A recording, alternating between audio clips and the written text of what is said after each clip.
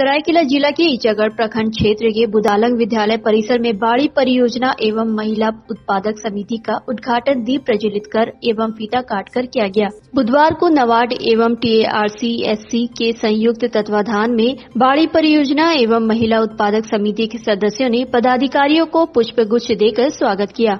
आज आज हम लोग यहाँ मिले हैं दो प्रोग्राम के लिए। एक हो गया बाड़ी प्रोग्राम और एक हो गया एलईडीपी प्रोग्राम ये दोनों ही नाबार्ड सपोर्टेड प्रोग्राम है। इस प्रोग्राम का शुभारंभ आज से हो रहा है। इसमें नाबार्ड का जितना सारे बड़ा बड़ा ऑफिसर है सीजीएम है डीजीएम है डीडीएम है एलडीएम है एजीएम है सब कोई आए हैं यहाँ ये प्रोग्राम को उद्घाटन करने के लिए। काफ़ी का आमदनी। है अगर इसको सही तरह से अगर समझ जाएँगे तो बाकी प्रोजेक्ट्स यहाँ जैसे चल रहा है आपका प्रोजेक्ट भी ऐसे चल सकता है। सबको नज़दीक बाकी जहाँ ऐसा प्रोजेक्ट लगा है, वहाँ घुमाने के लिए ले जाइए। वहाँ देख के उनको पता चलेगा कि प्रोजेक्ट कैसे चलता है।